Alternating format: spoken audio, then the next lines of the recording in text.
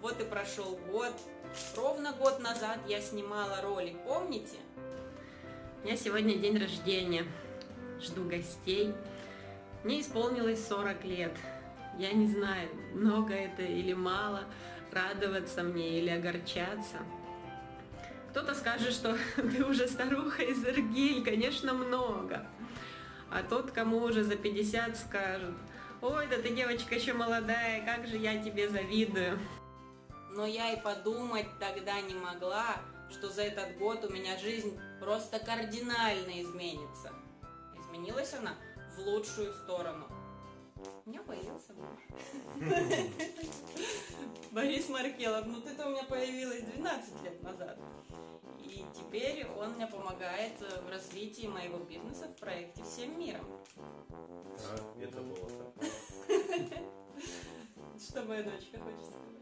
С днем рождения. Ну, целуйте меня уже в обе щечки. Спасибо, мои дорогие и близкие. У дочери сегодня день рождения. При- Собрались мы за праздничным столом. Приехали с хорошим настроением, чтобы отметить праздник пятером. 41 год. Еще не старость. Это только юность и рассвет. Прожита тобой такая малость. Повода для грусти просто нет. Рада, что еще ты молодая, что счастье в 40 лет нашла свое.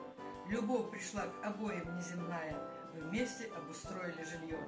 Как здорово сейчас у вас в квартире. Какой дизайн, уют и красота. Желаю вам любви, тепла и мира, чтоб в сердце каждого жила весна. Впереди забот еще немало. Не открыты многие пути. Надо Вику на ноги поставить. По душе занятия найти. Довольны мы, что нас не забываешь. Звонишь всегда и спросишь, как дела. И все тревоги на душе растают. Заботой продлеваешь нам года. Горжусь тобою, моя бизнес-леди. В своем проекте ты авторитет. Пусть недруги завидуют, соседи, а для тебя горит зеленый свет. Ну, Целую. обалдеть.